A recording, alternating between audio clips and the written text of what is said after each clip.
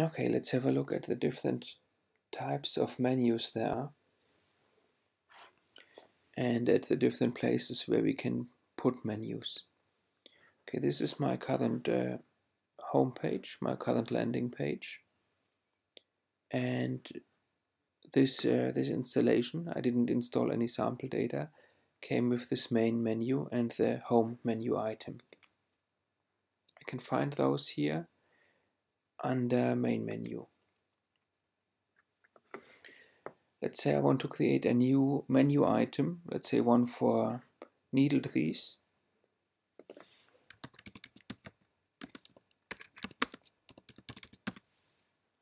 And later one for leaf these. Then I decide what this menu item will be called and I decide what kind of menu it should be. Now there are different types of menus and uh, probably most interesting at the moment are these article menus. If I click on article, a, a, list of options will show up. And here I can list to all the archived articles, to category blocks, category lists. I can create a link and if people click on that, on, on this menu item, they'll um, uh, create a new article uh, we, we could link to all the featured articles. That's how our home menu item works. But I could have different menu items, you know, one linking to featured articles in a specific category, for example. I could have a menu that links to all the categories or to a single article. So most interesting is probably single article and then maybe category block, a category list category list will just display a list of all the articles. Um, category block will display the article introductions, you know, up to that red line, uh, one by one. Uh, a, a, bit like a block, you know, you, you, see the latest thing on top and you can look at, at, at the items then. So let's say for testing things out, I want this to be a category list.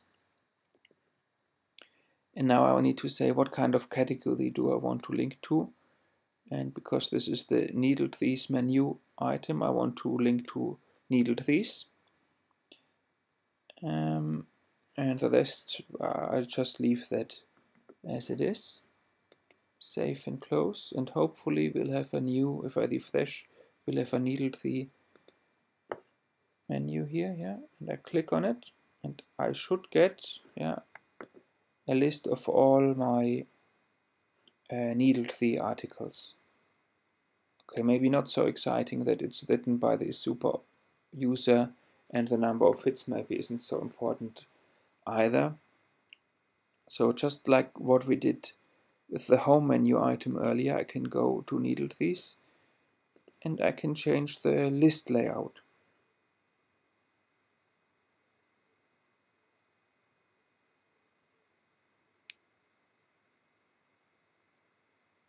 Um, show author in list.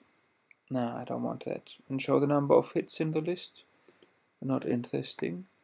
So let's save that. Refresh.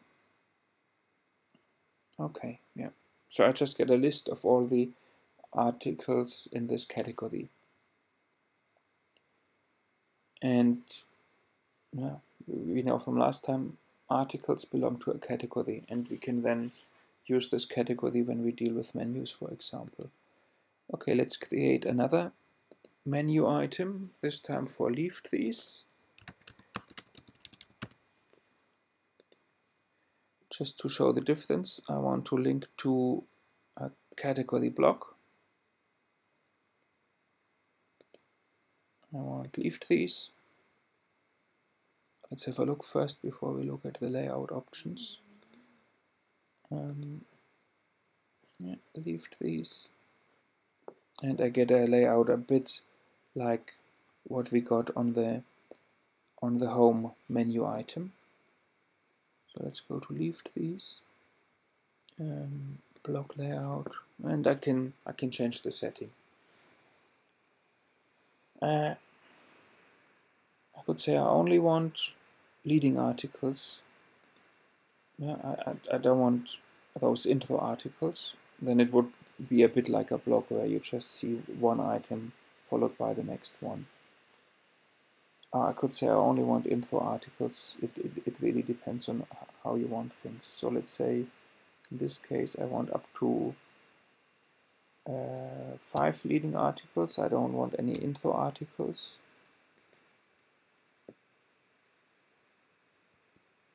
I don't want any links. Mm, pagination we all we leave all of that. Let's have a look how it looks like whether I like it. Okay. Yeah we got one after the other. Good. Okay let's show you another type of menu item let's say I have a three of the month or three of the week or whatever it might be. Three of the month. And that's a single article. So in this case I can point at a single article and I can now pick which article I want to point at. So my three of the month. Here we got it. Save and close let's refresh the page three of the month I click and I get a link to this specific article Okay. What other kind of articles are there? Sorry, what other kind of menu items are there? Um, we could display site configuration options, template options. We could display contacts, so you can create um, contact details as part of your CMS. Um, yeah, pe people who are responsible for your website, for example, or people working in your company, uh, you could link to those. You could link to uh, news feeds. You could link to a search form. Uh, that's a different type of search. Uh, we might talk about it another time. System link. So we, we could link to an external URL um, let's say uh, yeah, um, to your friend's um, website, to your to your sister company's website, or whatever it might be. Um, you can put tags onto articles. Uh, there could be a tag called three of the month, or there could be a tag called I don't know endangered species, and uh, I could then create a menu that will link to all the endangered uh, species tagged trees. Could link to uh, users of, of, of our CMS and wrapper. Um, an iframe is is basically a box that you display as part of your web page and in that box um, you display another website from another address. Um, but let's not talk about that. Okay, th these are some of the options. These are some of the types of menus um, you can display in Joomla. Now at the moment the menu is here. I could display the menu somewhere else, you know, at the top, at the bottom, wherever I want. This depends on the template you are using. And we talk about templates another time, but let's let's just start having a look at where we place the menu. Let's go to extensions templates and here we can see the kind of templates we are using. Site templates are templates that influence the look of the front end and administrator templates are uh, templates that uh, that uh, influence the look of the backend. But you know, I mean, I think usually everyone or most people will leave that on Isis because you know it doesn't really matter how the backend looks like. But maybe you know if you have a special kind of site, you want things being displayed in a different order. But usually that's fine. So at the moment we can see the template we are using is called Protostar, and uh, we can have a preview of our template. And if I go to options here, I can enable the module position preview. Let's do that. Now I've got a little eye here. I can click and I get a preview of all the different module positions. I talk about modules in more details another time, but a module, but in, in the context of menus, these are the different areas where we can place the menu. So at the moment we've got this main menu and it's in position 7. Only in this template will this area be called position 7. Another template might call this area something else, or there might not even be a position in this area. So other suitable uh, positions for menus would for example be here position 1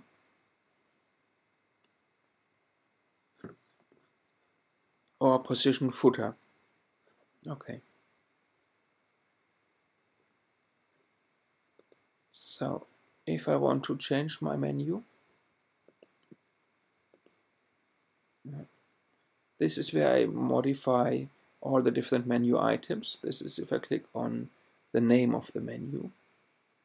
Um, but I could I could also have different menus. I could have one menu here one menu here, one menu in the footer. Uh, in the footer, you could have, I don't know, how to find us and contact us and things like that.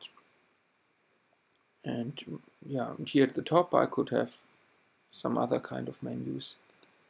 So if I go to menus manage, this is where I create new menus and each of the new menus could have new menu items. So I could create a menu for the footer here or one for position 1 and if I go to extensions modules this is where I actually decide where the menus go. So we can see here main menu is in position 7 breadcrumbs is in position 2 breadcrumbs is this bit here where we see where we are within the navigation of the page yeah.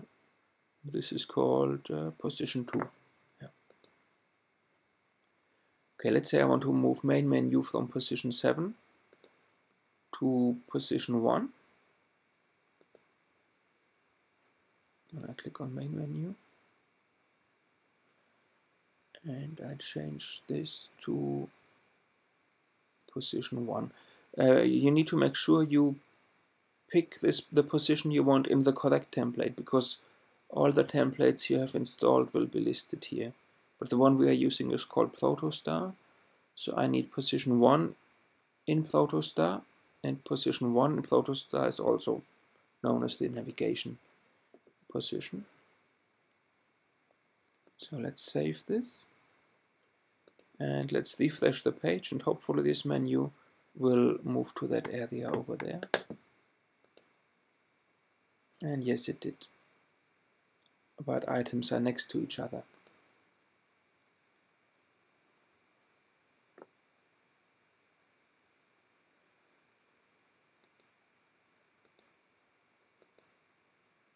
Okay.